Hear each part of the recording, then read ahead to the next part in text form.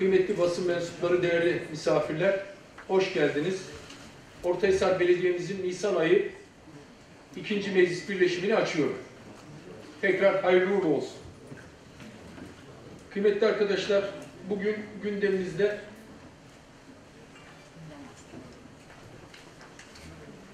on maddelik bir görüşmemiz var.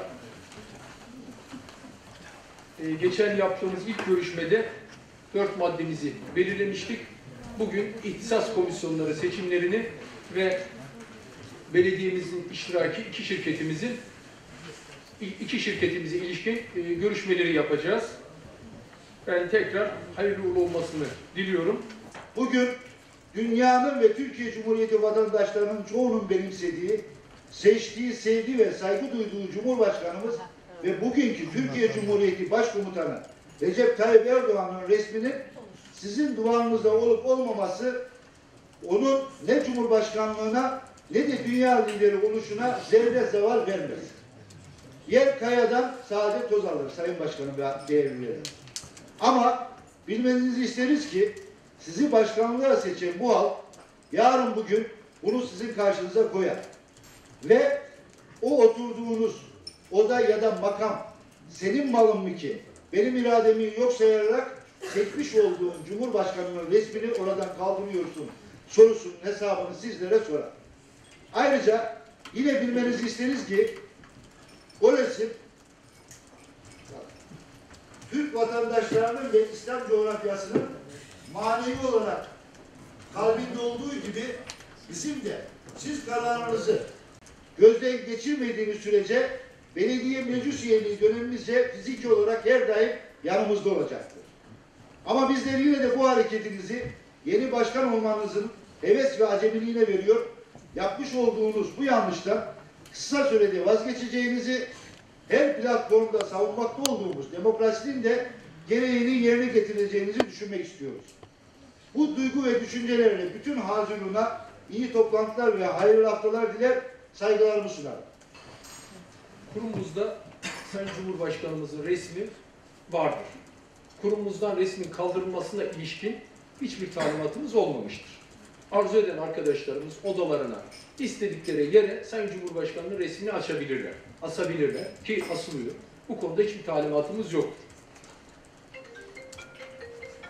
Sayın Cumhurbaşkanımızı Cumhurbaşkanı olarak kabul etmediğimiz yönünde bir ifadesi oldu Zeki Bey. Buna kabul etmiyorum. Sayın Cumhurbaşkanı halkın iradesiyle seçilmiş Cumhurbaşkanımızdır. Ancak kendisi Cumhurbaşkanı seçilmeyi, Cumhurbaşkanı olmayı yeterli görmüş olmayacak ki yanına AK Parti Genel Başkanlığı olma hakkını da eklemiştir. Bu hakkını kullanmıştır. Dolayısıyla bizim altını çizdiğimiz mesele budur. Biz tam da bunu ifade etmiştik. Hatta o referandum süreçlerinde biz bunun doğru olmayacağını, ülkeyi siyasallaştıracağını, ülkede bir parti devleti görüntüsü vereceğini ki bunu yıllarca başta Sayın Recep Tayyip Erdoğan, AK Parti Genel Başkanı ve Cumhurbaşkanımız Sayın Recep Tayyip Erdoğan eleştirmiştir. Eleştirmiştir arkadaşlar. İsmet Paşa dönemini, Cumhuriyet'in kuruluş yıllarını, oradaki o zorunlu şartlar nedeniyle yapılan uygulamayı en acımasız şekilde Sayın Cumhurbaşkanı ve AK Parti yetkilileri eleştirmiştir. Bunun bir parti devleti görüntüsü vereceğini, ülkede birlik bütünlüğü bozacağını ifade etmiştir. Ama ne acıdır ki o eleştirdikleri işi bugün kendileri yapmıştır. Ve ben kendi kişisel hakkımı kullanarak bu ülkenin kurucusu, kurtarıcısı ve yaşadığım sürece kendisine minnet duyacağım, bu ülkenin çimentosudur dediğim Mustafa Kemal Atatürk'ün resmini gururla arkama astım arkadaşlar. İsteyen, isteyen herkes kendi makam odasına oturduğu yere istediği resmi asabilir. Benim bu konuda kimseye söz söyleme hakkım yok. Ama ben arkamda Mustafa Kemal Atatürk'ün bir vatandaşla konuşurken o mütevazi foto- fotoğrafından güç alıyorum. Ve orada yazan bir yazı da var. Orada yazıda diyor ki millete efendilik yoktur, millete hizmet etmek vardır. Benim arkamda makam odamda yazan budur arkadaşlar. Ben inandığım, doğru bildiğim ve arkamda olmasından güç aldığım o büyük insanın fotoğrafını arkama koymayı uygun gördüm. Bunu da sizlerin takdirine sunuyorum. kendi inisiyatifimdir, kendi düşüncemdir. Ama yineliyorum, Sayın Cumhurbaşkanı seçilmiş Cumhurbaşkanımızdır. Buna hiçbir itirazımız yoktur. Millet iradesine sonuna kadar saygı duyduğumu da ifade etmek istiyorum.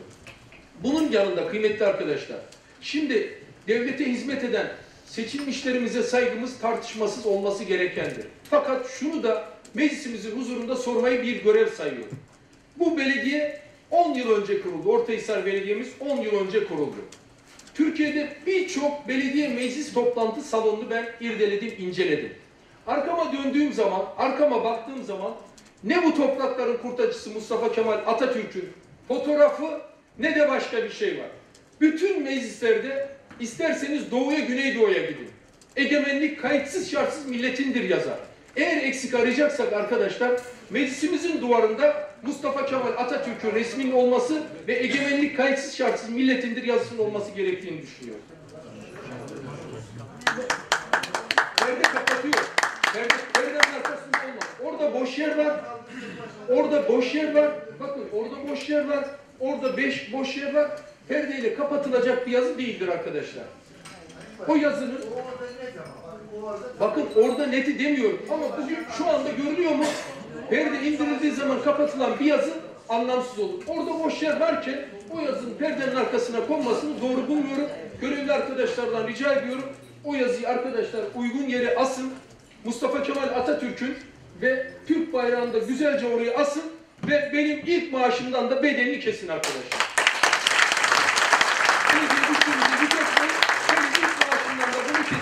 Oraya bir Mustafa Kemal Atatürk resmi, oraya da güzel bir Türk bayrağı çerçeveletip asın ve egemenlik kayıtsız şartsız yazısında perdenin kapatmayacağı şekilde görünür bir hale getirin diye rica ediyor. Bedelimi de benim ilk maaşımdan kesin diye yineliyor. Evet arkadaşlar, teşekkür ediyorum. Biz daha çok yol almak istiyoruz, daha çok çalışmak istiyoruz, daha çok bu kente hizmet etmek istiyoruz. Ben inanıyorum ki burada farklı siyasi partilerden görev alan meclis üyesi arkadaşlarımızın da birinci önceliği budur. Zaman zaman tartışacağız, konuşacağız. Konusu açılmışken yine bir meseleye ilişkinde sizleri bilgilendirmeyi arzu ediyorum. Bakın arkadaşlar, birkaç gün önce biliyorsunuz bir bayram programı için Sayın Ekrem İmamoğlu kentimize geldiler. Şeref verdiler, mutluluk verdiler. Bayramlaşma programımız öncesinde de alan düzenlenirken arkadaşlarımdan şunu rica ettim. Dedim ki arkadaşlar benim için devlet kutsal. Benim için Mustafa Kemal Atatürk tartışmasız ebedi liderimiz, başkomutanımız ve Türk bayrağımız. Bunlar benim için çok değerli. Bunları binamızın en güzel ve en görünür yerine lütfen alsın. Arkadaşlara bunu rica ettim. Arkadaşlar da gittiler. Mustafa Kemal Atatürk'ün o gülen güzel fotoğrafını ve Türk bayrağımızı ön cepheye astılar.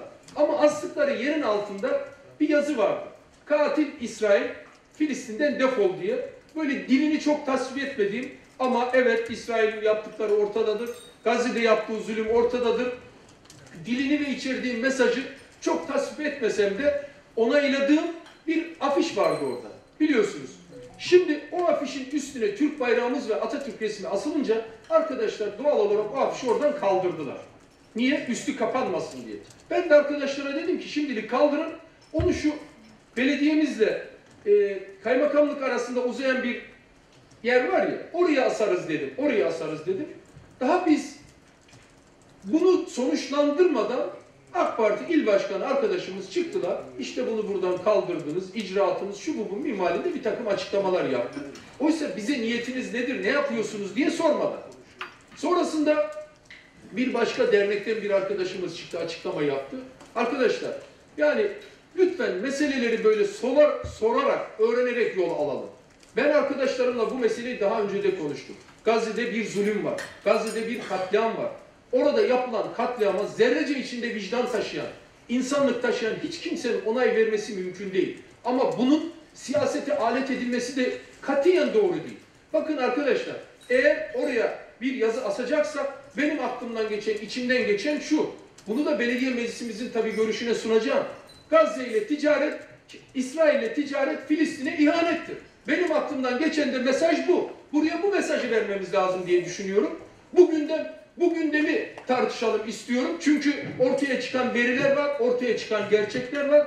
Bu konuda tabii bilgi kirliliği de vardır muhakkak ama sonuçta Türkiye Cumhuriyeti Devleti'nin İsrail Devleti'ne savaşın başından beri gemilerle malzemeler gönderdiği, bu malzemelerin muhteviyatı basına yansımış durumda. İşte Gazze'de liman olmadığı için oraya gidiyor minvalinde açıklamalar yapılıyor ama bunlar inandırıcı, inandırıcı değil arkadaşlar. Toplum vicdanını yaralayan meseleler. Ben dilini beğenmediğim ve verdiğim mesajı da çok anlamlı bulmadığım o mesajın yerine meclis olarak bir karar alalım. Gazze'de o zulüm altındaki Müslüman kardeşlerimize sahip çıkacağımız isterseniz bir bildiri dile alalım, yazıya alalım, yazıya dökelim, basında kamuoyuyla paylaşalım.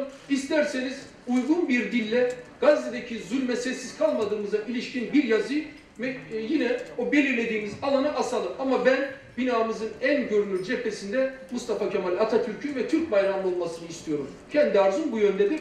Bunu da bilgilerinize sunuyorum. Bu konuda da önerilerinize açık olduğumu ifade ediyorum arkadaşlar. Tekrar teşekkür ediyorum. Evet arkadaşlar. Tüm maddeler görüşüldü. İkinci birleşimi sona erdiriyoruz. Üçüncü birleşim 16.04.2024 Salı günü saat 14.00'da toplanmak üzere oturumu kapatıyorum. Hepinize teşekkür ediyorum.